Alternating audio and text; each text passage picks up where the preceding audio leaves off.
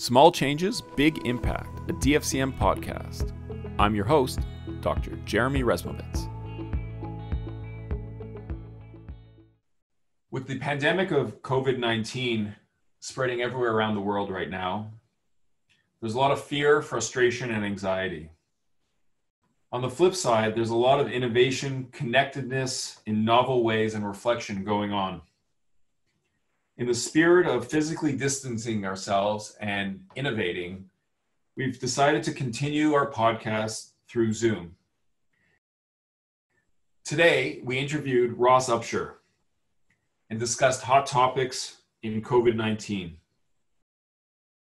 Take a listen, and I hope you enjoy our conversation. Stay safe and be well.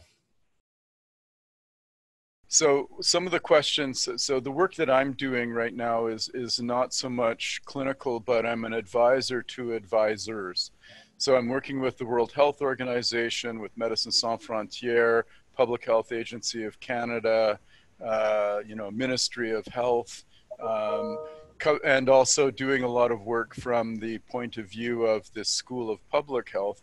Uh, so yesterday I was the moderator of a panel uh, where we were looking at uh, um, new tools that are being developed that allow uh, a better understanding of the evolution of the outbreak in terms of modeling in the community and modeling uh, the uh, demand uh, for hospital services. So I've worked on, and so the backstory is that after, so it would start actually with SARS.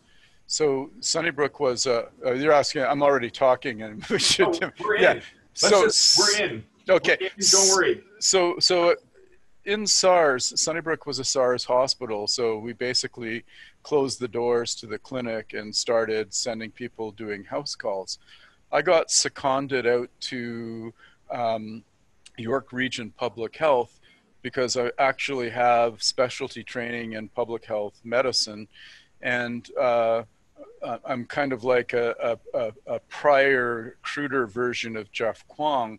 I was doing a lot of work on uh, modeling respiratory disease in populations using ICES data. So I started out as a communicable disease uh, modeler. I did work on outbreak investigations while I was a, a resident and have always kept my foot in that element of public health because during SARS, I went to York Region to do the modeling and figuring out the uh, patterns of spread of SARS in the community, but it never spread in the community. It was a nosocomial outbreak. So I got dragged, I got brought in to be doing medical officer of health work, and I ended up uh, being the uh, quarantine enforcer. so that led me to start to think about ethical issues in public health response. Uh, with colleagues at the Joint Center for Bioethics, we published a paper in the British Medical Journal. We also added a section to the Naylor report, and that turned into a, a, a white paper called Stand on Guard for Thee, which sets out the kind of principal ethical issues that will be raised in a pandemic. We were thinking about influenza, but they're actually germane to coronavirus. Yeah. That then became the template of the World Health Organization guidance document. That's how I started working with the World Health Organization. I chaired the working group on uh, health workers' uh, obligations to care in a pandemic. And then uh, we were also, that was around the time I became the director of the Joint Center for Bioethics. And I was the uh, director of the WHO Collaborating Center for Bioethics. After I stepped down from that role, I became uh, still part of the collaborating center, but I've had the lead for uh, ethics and epidemics uh, ever since. So that means I've worked on uh, SARS, MERS to a certain extent, uh, pandemic, H1N1 influenza, both Ebola outbreaks. I took a little bit of a pass on Zika, but I was still peripherally involved. And so what we find are the same issues arising again and again. So first issues, and it depends on when they arise. So right now, there's a big concern around resource allocation. How do you fairly allocate resources in scarcity? So we had a paper published in the New England Journal of uh, Medicine on Monday that sets out some principles that you might want to think about for allocating things like ICU beds, hospital admissions, and then into personal protective equipment. In um, fact, uh, I'd like to talk about that if you don't mind. I read that article. Yeah. And so, but first, I'd like to say that um, you set out a framework for ethical principles to guide how to plan pandemically. But first, I think we need to state that I, at least I, in this conversation, in this world, think you have intrinsic value as we get into a guide of ethical principles that guide this, okay? Yes. Based on everything you just said, I think you bring a lot of intrinsic value, you know, for the sake of, uh, of just valuing what we should be doing, because we're going to get into a talk about values, obviously. Yes. So, so I, I just want to let you know, because I think we, on our previous talks, we both have mentioned that nobody really listens to us at home. And yeah. so I'm here listening today, okay? Okay. So, so let's talk. The, about- the irony is, people now want to read stuff I wrote 15 years ago on the justification of quarantine, uh, how you uh, figure out what the limits of responsibility are in a pandemic. It's it's quite remarkable. And then, of course, all the stuff that uh, I, I, was working on on how we understand and interpret and utilize evidence. So, but didn't you? Aren't you the one that wrote that um, those that don't learn uh, their lessons are deemed to repeat it or something? well that's uh, that's a that's a Santa so the, the person who wrote that is george santayana who's a famous uh, american philosopher. He's remembered for that quotation and people actually forget haha, where that quotation came from. It was in a four volume uh, book that he wrote on the history of reason um, in in society. Uh, and of course the idea is that we actually don't like to learn our lessons from the past. That's why we're condemned to repeat them. Oh, uh, that's uh, the line. Yeah. yeah. So that's that. That was that comes to uh, towards the end. I think of the third volume. I've got it written down. I always mess it up. Um, and so after the Ebola outbreak in 2014 with one of my PhD students, we wrote uh, a paper about uh, lessons learned from uh, epidemics. And the only lesson we learn is that we don't like to learn lessons. Because, and I have this whole riff, which I set it up that, you know, SARS was a wake up call. We have to learn lessons. You know, a couple years later, H1N1, a wake up call. We have to learn lessons. Ebola, we, a wake up call. We have to learn lessons. And I kind of recapitulate uh, all of those arguments. They're all the same lessons. So we either have collective, uh, you know, uh, amnesia because we keep forgetting, or collective narcolepsy because we keep needing to be woken up. Uh, and so the same recurrent issues, resource allocation, use of restrictive measures, global governance and global citizenship, health workers' uh, obligations to care keep coming up, and they are playing out in spades with the uh, coronavirus outbreak. Yeah, um, we are definitely at risk because of not learning our past lessons. Yeah. Um, it's it's really scary actually. Um, I'm a community doctor, and I mean I don't have the uh, amount of personal protective equipment necessary to see patients daily. Uh, yeah. We've switched to phone, we've switched to video, but there are still things that you can't um, not see. Uh, and, and we're talking about germane things like taking staples out of somebody who's post-op. I can't yeah. let those, the skin grow over the staples. Uh, you still have to see people, and and you know it just it puts people at risk. Yeah. So there's a couple of framing considerations uh, to contextualize uh, concerns about duty to care. Um, so one thing to remember is that for most of human history, uh, physicians cared for patients without any personal protective equipment.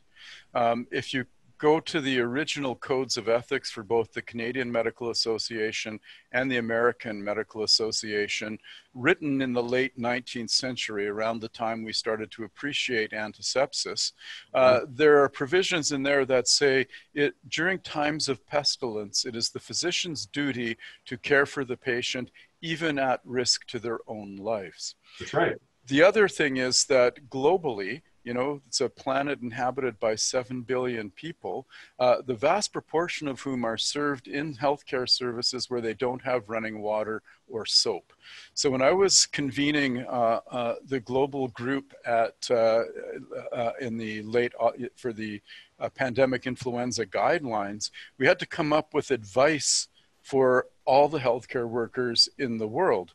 And I remember writing that, you know, minimally, we want to make sure that they have access to soap and water. And I was told that that is something that could not be reliably uh, secured for all healthcare workers on the planet. So we are, I'm not saying that personal protective equipment isn't important. Don't misconstrue my argument. But the reality is many of our peers and colleagues and and we can't in a if we're going to truly take global solidarity into account for a global pandemic our peers in many health systems are going to be providing care without personal without any personal protective equipment. Now after SARS, there was a big issue about whether, and that was, you know, again, the Campbell Commission report is a lengthy report written by Justice Campbell, looking at whether um, leaders in both government and in health institutions uh, were diligent enough in uh, taking steps to protect healthcare providers. The argument was, of course, that they didn't. And going forward in the future in all uh, pandemics, we should be optimally uh, prepared to protect all of our healthcare providers. And, you know, I'm getting the same calls, uh, you know, because a lot of my, uh, uh, you know, classmates and friends are community based family docs. And I understand their concerns. Um, so we're going to have to um, kludge a solution on the fly rather than as recommended uh, in many of our guidance documents to actually have policies and procedures in place about who's going to do what in the event of something like this happening. So we have a lot of um, guidance right now. I don't know if you've seen, there's a plan A, which is what the ideal plans are to, you know, enough personal protective equipment to go around. There's plan B, reusable, reusable uh, personal protective equipment and there's plan C, which is um, we wish you the best of luck, and uh, yeah, you know, we hope you don't get it. Yeah. So, how are we like? So we have a couple systems that we get to look at right now. So one, um, you're at the Lana School of Public Health in Toronto. So yep. we could look at Toronto, we could look at Ontario, we could look at Canada, we could look at North America, and then we can obviously go global here. So my question to you is, what should we be focusing on right now as uh, community doctors?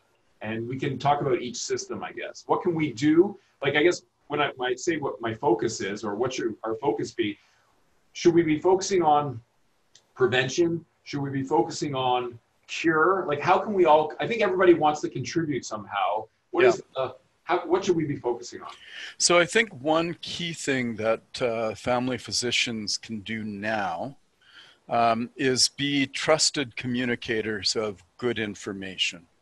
And that may mean, uh, you know, I think everybody's going to have to go back and say, gee, I wish I paid more attention in medical school to all the lectures I had on public health and why it's important. Um, and and the public health messaging uh, is and it's I've been pleased by how it's been supported by the clinical world. I think people who look at the numbers and see what's happening in Italy and Spain in particular, uh, the last thing they want is something like that happening here.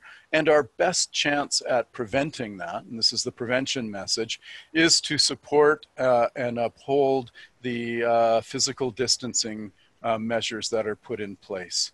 And uh, one of the things I've been circulating is a, is a brilliant document that actually walks through the population health rationale for why we need to act this way. So, yes, some of it's based on modeling, but those models are now well informed by data from China, from Italy. Uh, it's our best chance for something to work. So if we get a bunch of family physicians saying, you know, following along the pages of Trump saying, well, the, the cure is worse than the disease, let's just get back to normal. Uh, if we have if we have people who are respected in their communities because they're leaders of their medical societies, uh, falling off message, that's going to be harmful. The, the second thing is, uh, yes, we may not have all the personal protective equipment we want, but if we don't provide care for our patients, who will? So there's a, you know, a set of independent reasons based in our capacity to be a self-regulating profession that obliges us to be the ones that provide care. Um, I know this doesn't make me popular, even if we may need to take on a bit of additional risk. Now, we're going to have to look in our own souls, each and one of us individually, about where we draw that line. But if patients who are looking for care, if they don't come to see us, they'll show up in the emergency. Somebody somewhere is going to have to care for sick patients. And we have a whole system called medicine, and we train uh, people called physicians. We give them particular privileges in our society to do things because they've got an exclusive license to do things like diagnose, uh, prescribe, um, and so there's a bit of a soft social contract uh, that uh, gives physicians the authority and power to do the things they do. And I have this feeling that if we don't show up, that might be rene- renegotiated and uh, uh we could become uh, wage earners and employees like other jobs. Yeah. And we've got the skills, right? Because of our training, we know more about how to treat the sick uh, than other people in society, despite Google's doctors and uh, all the other methods that people seek out for information. So that's that's you know reflecting on why we have the authority, the prestige, uh, the kind of you know why we're considered a profession, why we have licenses, why we have training programs, uh, and all of the social resources that are invested to produce us as physicians, I think does give us a particular obligation to find ways to ensure that we're responding to the health needs in a time of crisis. It's almost as if what you're saying is we have a fiduciary duty, almost like we took an oath yeah, you know, imagine that. Imagine that we actually are fiduciaries. Yes, we are, and and that's what the law is. So if you look at the uh, uh, College of Physicians and Surgeons of Ontario, uh, they have a policy on this, and it's very clear. There is an expectation that we will provide care.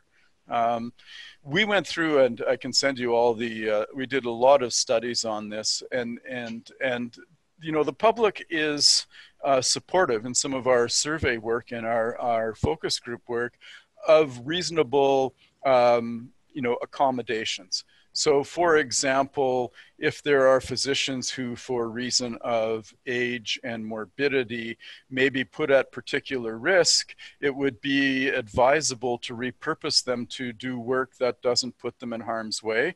And, you know, of course, that's why we have, and, and you know, but you're going to need to work it out in your own clinic. So, younger, healthier physicians who are more likely to withstand uh, a COVID infection, should they get it, would be the first line of defense. Uh, but we should have had all of these policies and procedures and guidance documents uh, uh hammered out uh, in advance instead of scurrying to put them together now. I'm lucky. Uh, I, I work as a solo practitioner. so you've got, yeah, so you don't have you're on your own, right? You have very little backup. Um, so, I mean, you know, I, had this intuition um, back when we were doing a lot of this research, when we were interviewing people after SARS, and people were saying, you know, I didn't sign up for this. I didn't think I could get ill uh, in this way uh, um, in my work. And I was thinking, really? Like touching sick people? Like you didn't really think that you could be put in the way of infection by becoming a healthcare provider. So it's like we've, and I, I actually tried to get this as a kind of screening question when on admissions interviews, right? do you know that by becoming a physician, you will be exposed to every bug that's out there? Uh, and particularly if you've got a large pediatric population that you serve. I mean, everybody knows and remembers from their internship and their residency when doing pediatrics, your immune system gets reintroduced to a lot of, just like when your your kids are young, right? So we are in one of the riskiest uh, uh, possible occupations for uh, being infected in the course of our duties. We always have uh, right. since time immemorial. Hippocrates recognized this. So, so let me ask you then: given that we are at risk, um, and given that um, we've got these ethical guidelines driving us or, or guiding us, I guess, um, on how to respond, um, what is the best way to test or identify people at risk? And should and should uh, healthcare workers be getting tested more often? In terms of their uh, tested for coronavirus, you mean? Well- or tested for their uh, emotional and psychological resiliency to perform the tasks that they are, are required by their jobs. Is there a test for the latter? I don't think so, um, but I think PHQ9. Yeah, they, that's right. Um, No, I'm, I'm really talking about testing uh, as far as antibody testing. I'm talking about NPs. I'm talking about, um, you know what? Qual- I'm not going to put down qualitative d- data, but if you ask No. somebody, listen, how are you feeling today? And they're like, I can't do this anymore. Yeah. That's a valid response. I agree. So, uh, one of the sort of buffers to the duty to care obligations of physicians. Is that you, you'll see this um, in the priority setting uh, um, thinking that people like physicians, nurses, healthcare providers who are on the front line actually have, when it comes to if we have medications, if we have vaccines, uh, they have a good argument to being higher on the priority list uh, for receipt of those uh, goods. Um, and so when we're going to be working through the PPE uh, priority setting, it's clearly going to be going to people who are on the front lines working in healthcare uh, that have first claim on it over and above uh, other essential services who may we may have a duty to protect, but they're really not on the on the firing line in terms of exposure. I'm not sure if you saw it. The New York Times has had some fabulous graphics, but they had this one um, tool that allowed that it had uh, the risk of exposure and the uh, the probability of exposure and harm by uh, uh, occupational categories. And of course, the far you think of the axes up here in the top right was like 100% uh, likelihood of exposure and 100% uh, risk. And you know, family physicians are on the top of that list. Um, and so you can see where, and it has this whole kind of sweep of it. Uh, uh, so we're always so because we're at such risk. That means that when it comes to handing out uh, or, or distributing scarce resources, they have a first claim because of that, as opposed to they had artists and sculptors who were way down at the bottom of like their their their their probability of exposure is low and the probab and their risk of of uh, of, a, of being ill because of their uh, and their mode of work is also low. But they healthcare workers have an instrumental value towards improving the health of everybody. Yes, and that's part of uh, that's another additional uh, argument in favor of their being high on the priority list. Right. Now I've been reading this journal recently. It's a great journal. It's called The New Yorker. Have you been? Mhm. It's one of my favorite journals. Um, have you read um, Atul Gawande's um, article about uh, keeping the coronavirus from infecting healthcare workers? No, I haven't read that yet. I've I've I've got a big stack of. of- We have a subscription, uh, so uh, they tend to get stacked up, and I read them in bulk when I'm on holidays. I've been. Uh, I'll, I'll so I'll definitely track that one down. What did he have to say? Because he's usually quite insightful. He is. So he's saying that, um, well, first of all, the testing that they're doing in Singapore and Hong Kong um, and, and in China is much different than the testing that we're doing. They're, they're making sure that there are no false negatives. Yeah. Got three and four tests going out before they're saying somebody's recovered completely. Yeah. And they're making sure that their healthcare workers are completely covered. They, what they did from the onset is that they put down, they did a mass lockdown and they made sure that every healthcare worker used um, personal protective equipment, masks, goggles, um, visors, uh, basically hazmat hazmat suits to see every patient regardless of what they had. Yeah. And and it's shutting it down. And if somebody and they tested the people who um, got infected. If you were infected, they tracked down any contacts and they put those people in quarantine also. And so we, Yes. we're not seeing the same rise that we're seeing in Italy, Yeah. Spain, the U.S. now, right? And, I'm- and I'm afraid uh, that Ontario is going to escalate into this. Well, you know, I've I've been working on this thing called clinical public health, and I think this this is this is a nice illustration of its importance. So a lot of people are pointing to the effectiveness of you know China, Singapore, Hong Kong, uh, Korea, um, and conditioning on uh, the implementation of restrictions and lockdowns. But as you pointed out, and if you read the WHO report uh, on the uh, that the high blue ribbon panel went over and issued a report, China mobilized 10,000 teams of five people each of contact tracers and testers in the community. Good old fashioned, what I'd call shoe leather epidemiology. And of course, the ones they were avidly after were the contacts of people in healthcare who became exposed. So it's not just the restrictions, it's uh, testing and tracing and following up in the community. And they continued with that even when there was intense uh, transmission in the community. In other words, they didn't succumb to nihilism that now that we're in tertiary spread, you can't track it down anymore. There's no point in contact tracing and testing. They, they did not surrender on that front. They also brought every, I think, CT scan they could move into Wuhan, and they mobilized a large number of healthcare providers to go and work there. So it was a multi pronged intervention. And so teasing out, or, you know, and they had mobile apps and all sorts of things. It wasn't any one of them. Uh, it's really hard to estimate which was the most effective of them all, but they combined. And now we can contrast because certain other systems uh, have used different uh, methods.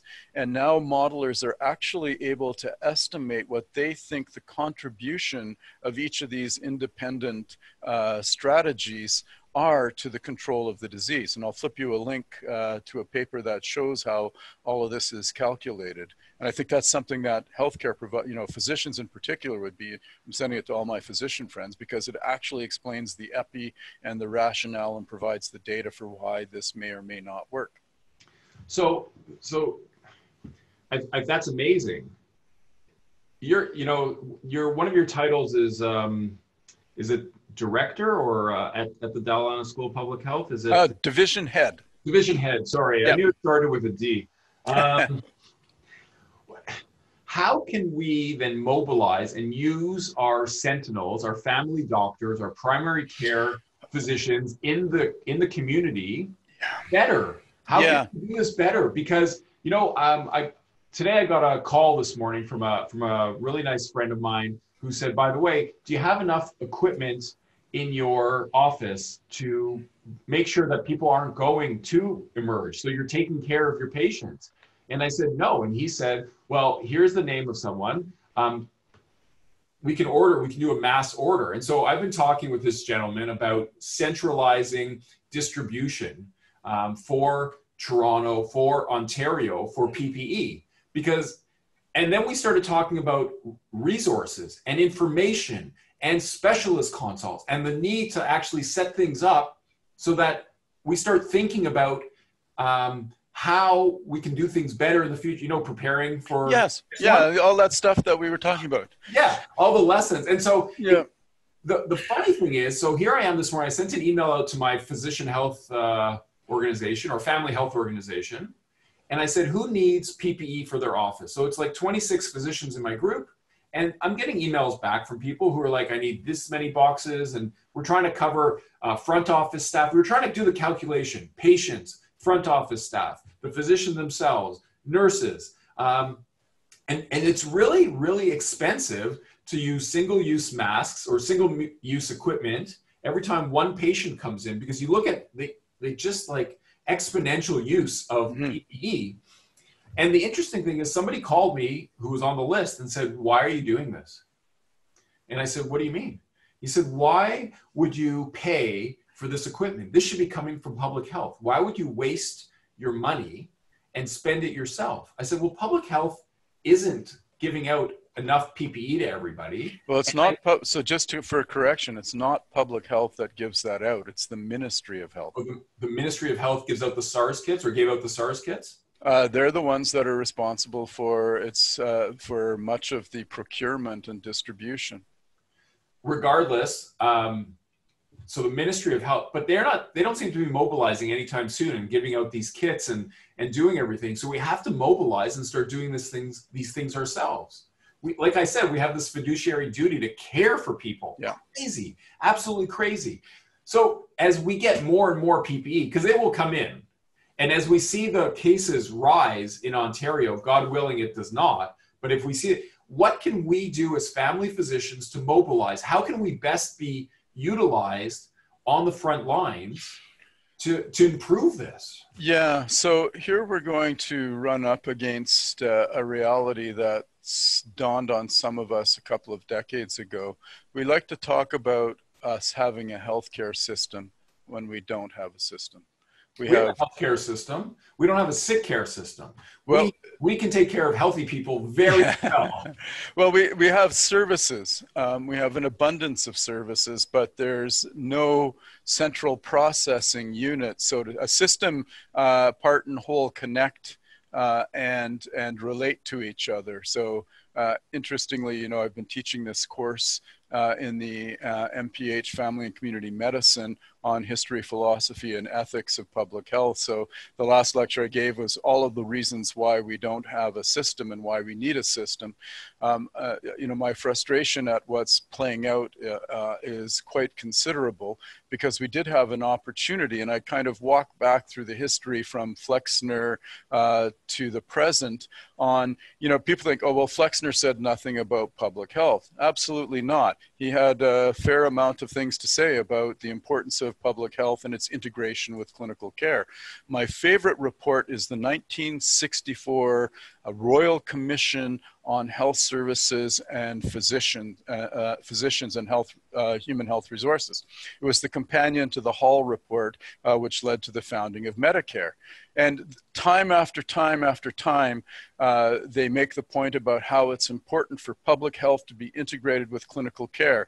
They bemoan the fact that public health physicians have become indifferent to the clinical world uh, and don't, and that uh, clinicians have become indifferent to public health and hygiene, and how we need to reconstruct our education and our educational systems to better and our and our healthcare system delivery to better integrate. So this whole thing when I started clinical public health and everybody said, "Oh, that's an oxymoron. You can't have clinical and public health in the same uh, sentence or in the same phrase because clinical is over here, I see one patient at a time and public health is over here. We don't do individual service delivery. That was exactly the polarization that the whole, uh, or pardon me, the Royal Commission identified in the early 60s before we even designed our current health system to avoid, yet we did the, our very best to actually silo and separate those uh, worlds.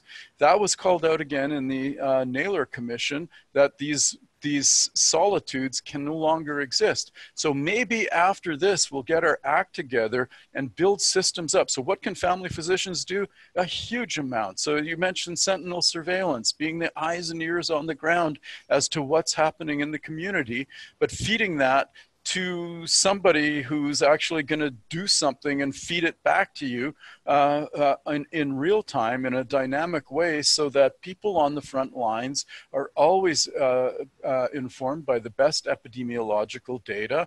They're told what, what, what works and what doesn't work, but we need to actually purposefully build that system. So I'd love to operationalize at least one thing out of this um, talk this morning. Um, other than mobilizing PPE so frontline workers can start doing testing, um, the problem is getting tests. Mm-hmm. And uh, right, that's the second barrier to all of this is that there's a there's a bottleneck on the amount of tests that we have. You know, I, I'm part of the Sentinel network for influenza, and so they pushed. Well out, done.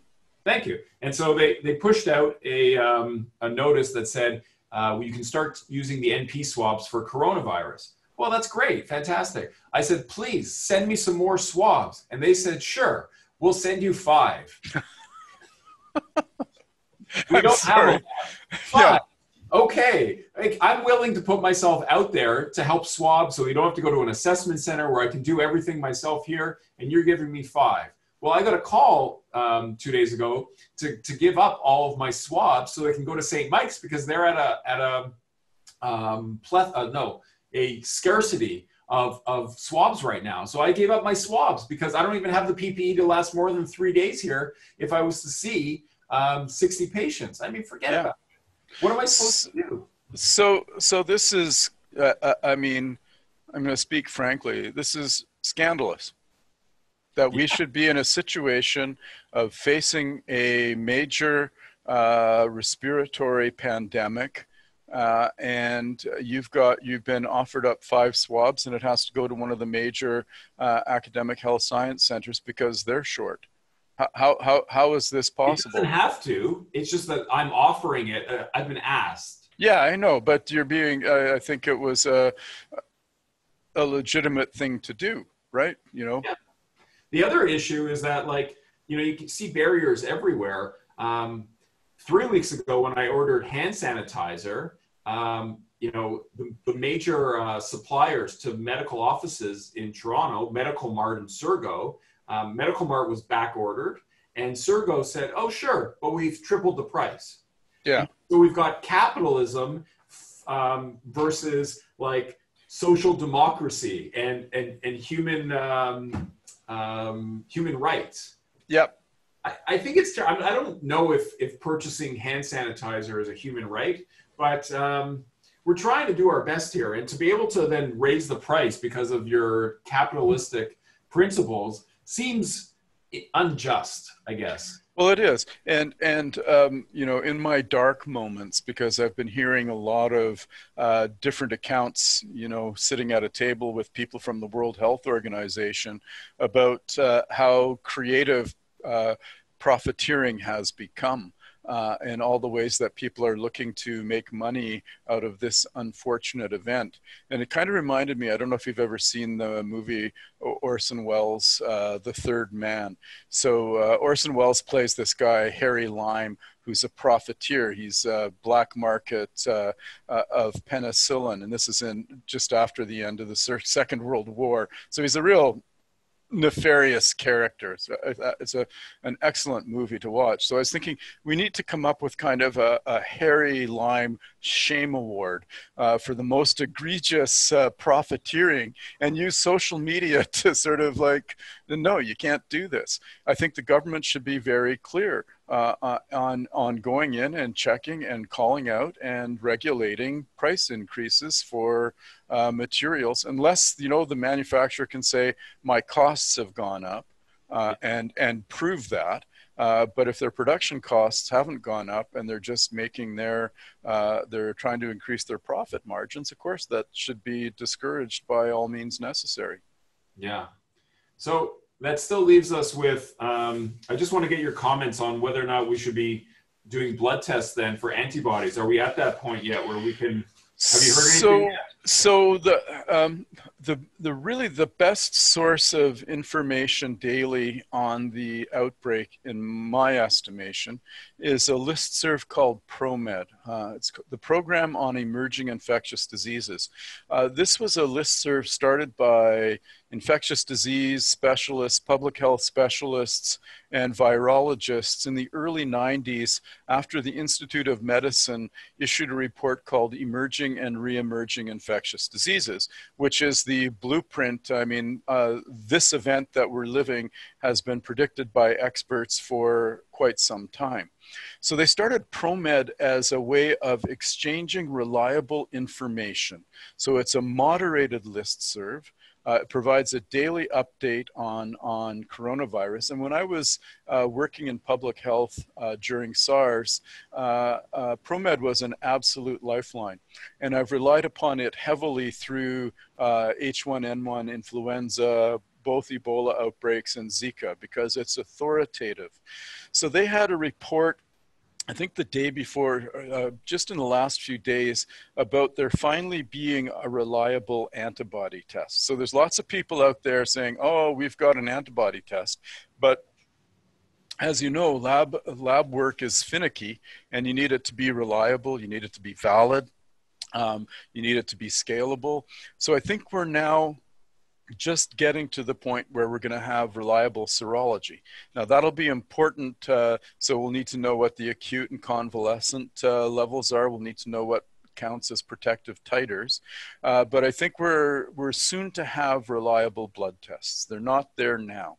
When we do, and I'm hoping they're doing this in Wuhan as we speak, you can go out in the community and actually calculate the denominator. We still do not know the true you know, as everybody says, we're seeing the tip of the iceberg in uh, the overwhelmed uh, hospital system but we don't know what the community spread is like. And the only way we're going to do that is through uh, random serology surveys. Yeah. Uh, and then we can, then we can, you know, I don't know if you saw the thing by John Ioannidis, you know, this is all, there's no evidence underlying our, um, our response. And we need to know the true case fatality rate. And we need to know this, that, and the other thing. Of course, we need to know that. Those are all priorities that we identified uh, at the meeting in Geneva in February when we were looking at research priorities. But if you don't have a reliable uh, serology test, you can't get that information to calculate what the true case, you know, the true uh, fatality rates are. So I think that would be a very helpful tool to help us manage the outbreak a bit better. And so, have you heard anything about? Uh, I'm just covering hot topics now. That's yeah. basically what we're doing now. Um, have you heard anything about um, chloroquine? Uh, yeah. So because all of my friends are just drinking gin and tonic. Don't.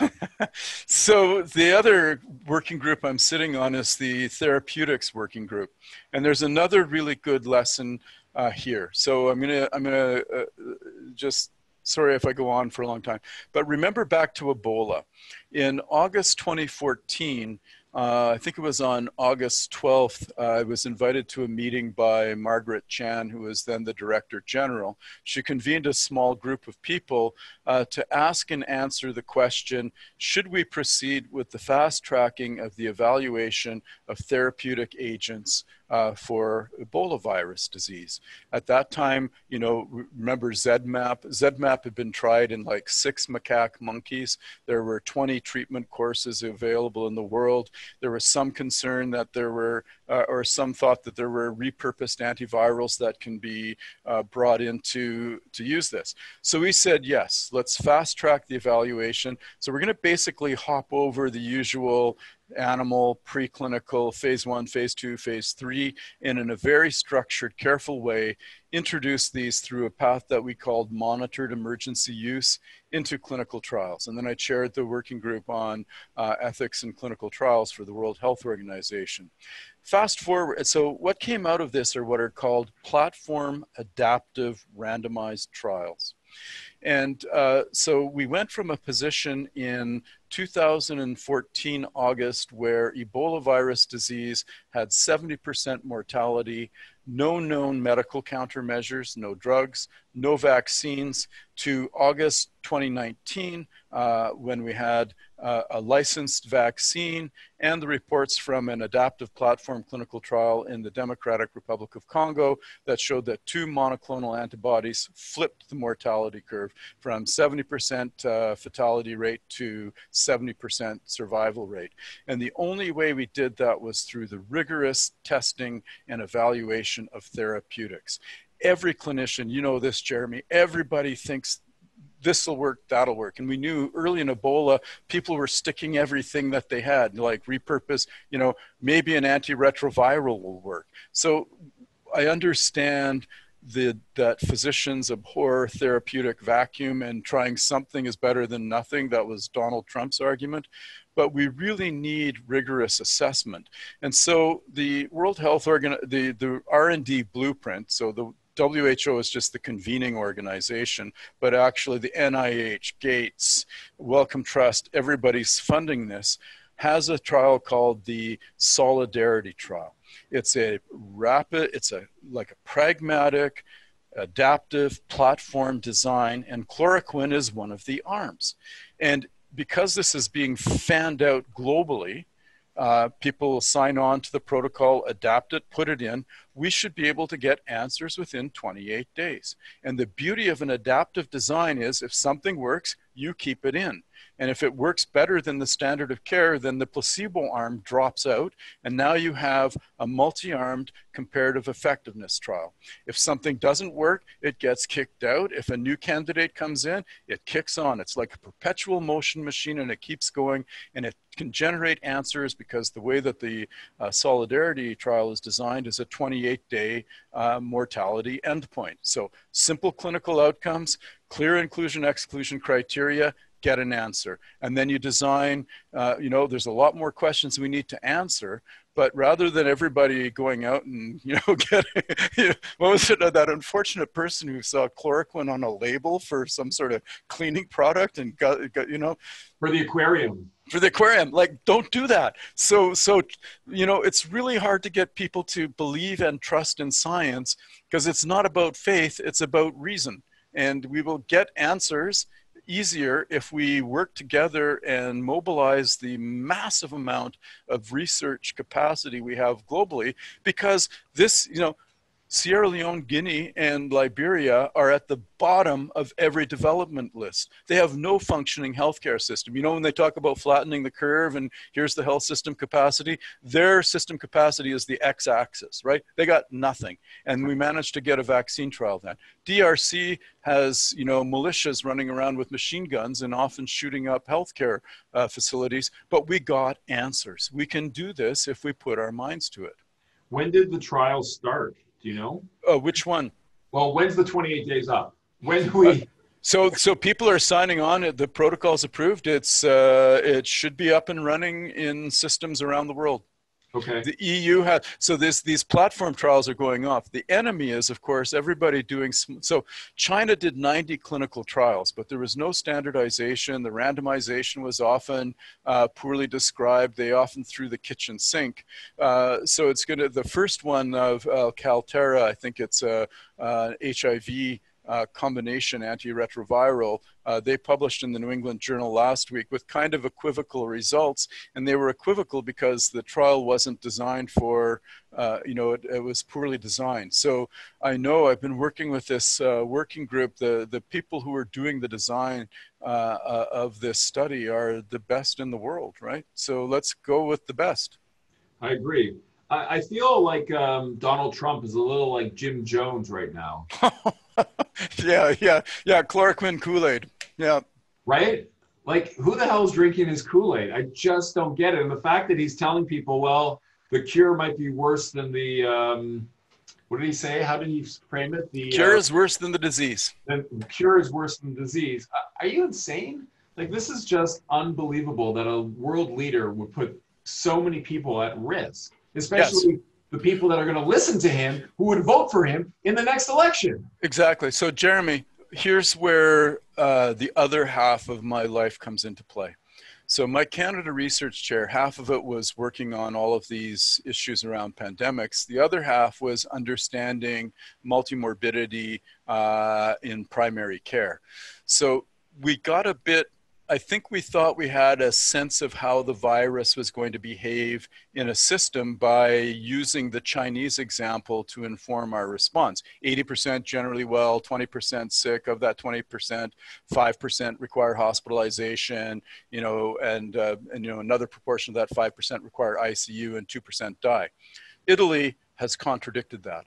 And the reason is Italy, like Canada, is a place where multimorbidity is the rule not the exception. And we know this. All of the studies that I did on multimorbidity and all the things that Martin Fortin's done in primary care, uh, the work of Laura Rosella and Walter Wodchis showing that in Ontario, uh, the vast proportion of people uh, 30 and above uh, are getting are multimorbid are multimorbid and multimorbidity and aging in particular do not combine well uh, with covid do you think it has um, anything to do with a catecholamine burden that could um, um, exacerbate someone's illness?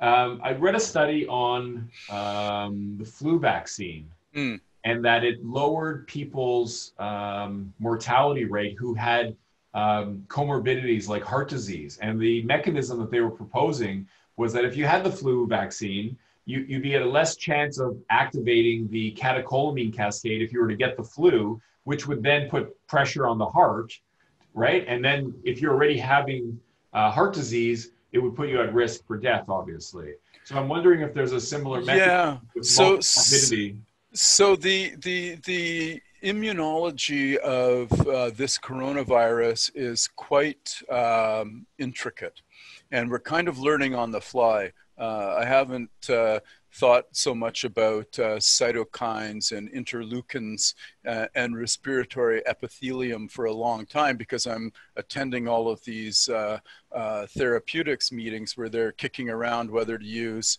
you know, this monoclonal antibody or this cytokine or interleukin in, inhibitor or promoter.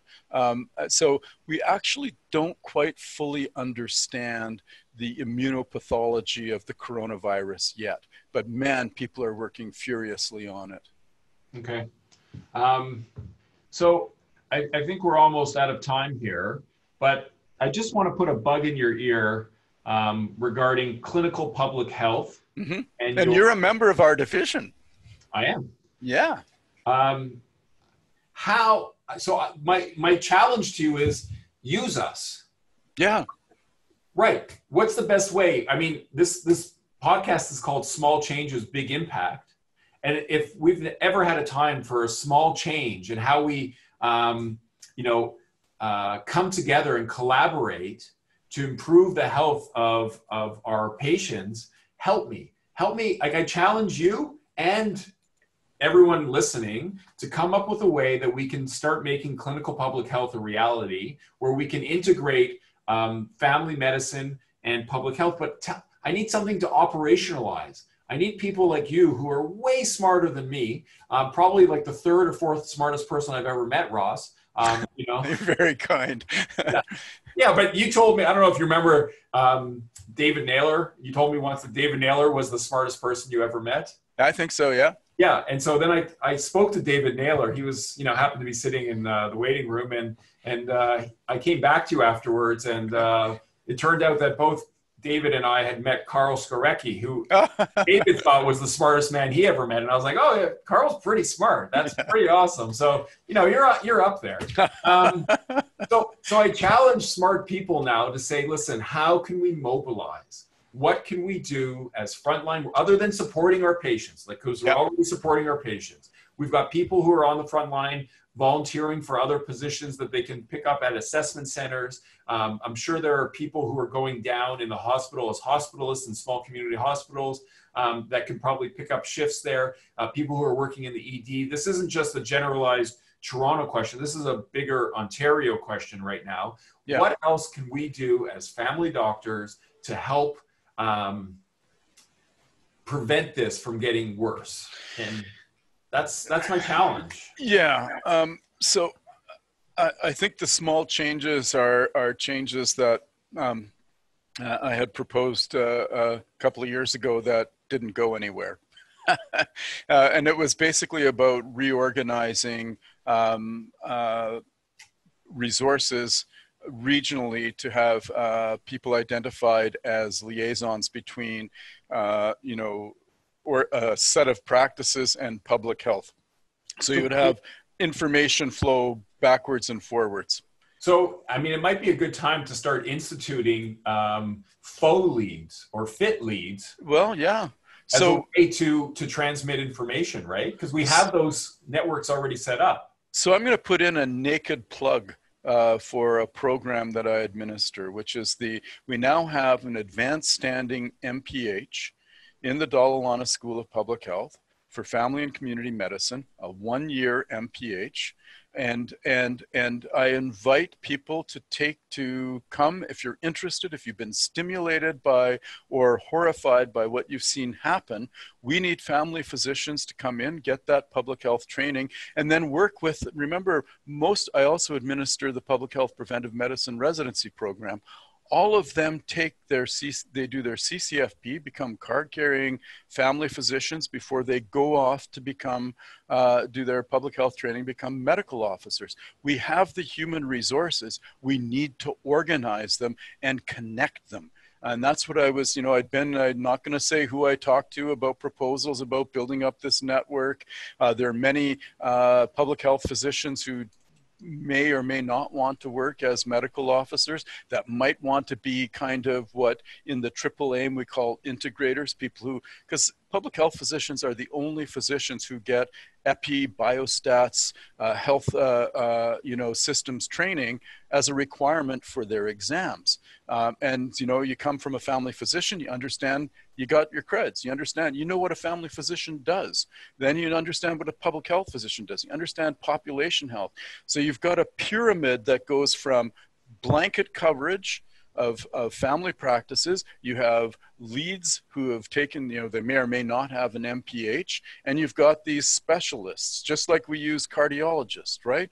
And then we have a system, a system where part and whole, where connections and information, and then all, you know, I'm so happy to hear that you're a sentinel surveillance physician. We should be doing that for a variety. You know, CPCSSN is one for chronic disease. We've got them for influenza, but we need to equip family physicians with public health tools so that they have real time information that informs clinical decision making. We can do this. So I'm willing to accept your challenge. I know it sounds crazy because I already have two masters, but what's a third? hey, you know me. I, there's no ceiling to education. Right. What's a third? Um, no, I, I'm I'm really considering this. So I would like to know more. If there's any way you can uh, send us the link, um, yep. Because I'm going to argue that, um, and, and maybe this is the point that we need to kind of um, um, end on, is that I would love your best Nostradamic take. I, I turned it into an adjective there. Um, prognosticate for us. Um, because combining your challenge of, of uh, picking up an MPH and I'm going to challenge you to turn it into a distance learning opportunity. Would love to.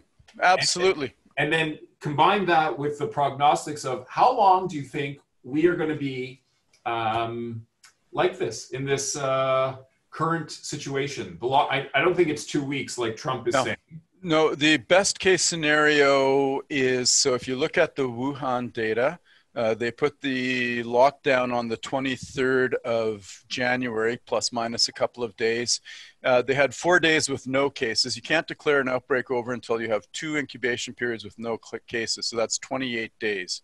Now, the big question is, and I'll send you this really excellent, they call it the hammer and the dance. You need to hit it really hard with a lockdown.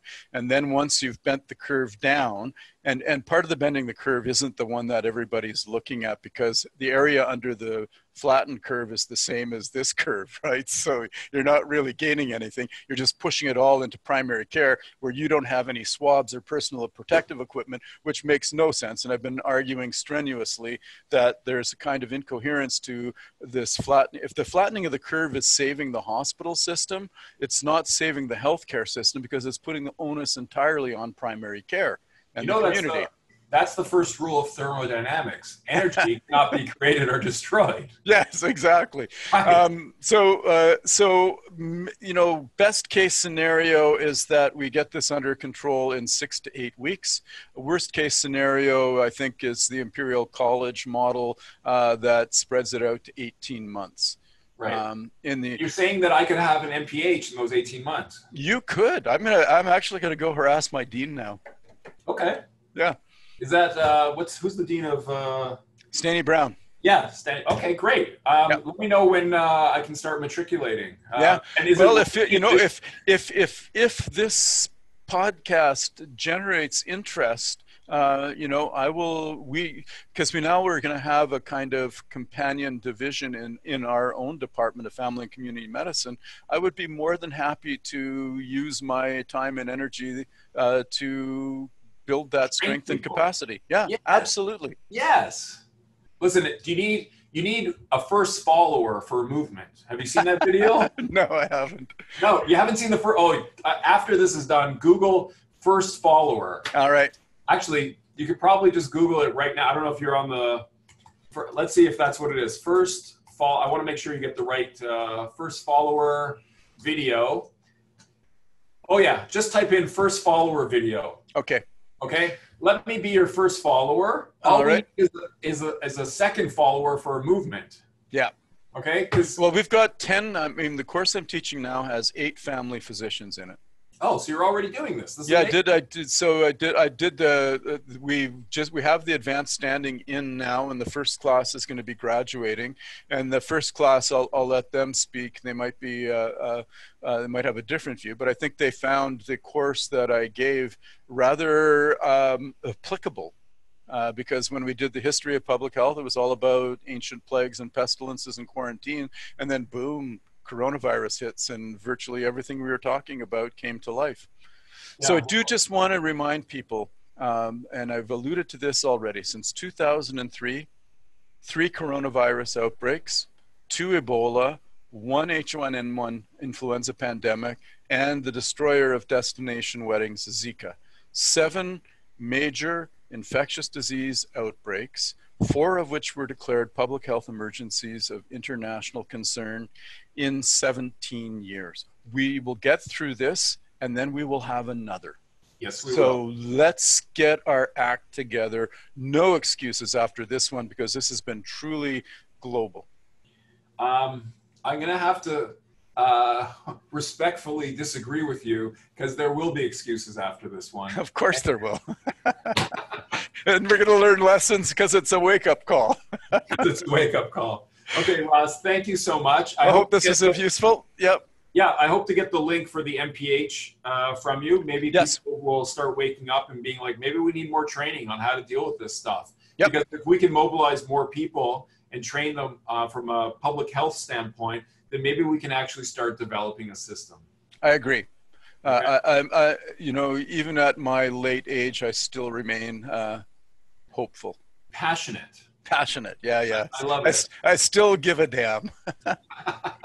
Me too. Yeah. All right. Thank you again and have Okay. a wonderful day. We'll be And I'll send you the link also to that really instructive modeling exercise. Okay. I look All right. forward to it. Thanks, Cheers. Thank you. Thank you. Take care. Keep well. Keep sane. You too. Bye bye. This podcast was made possible through the support of the Department of Family and Community Medicine at the University of Toronto. Special thanks to Alison Mullen, Brian De Silva, and the whole podcast committee. Thanks for tuning in. See you next time.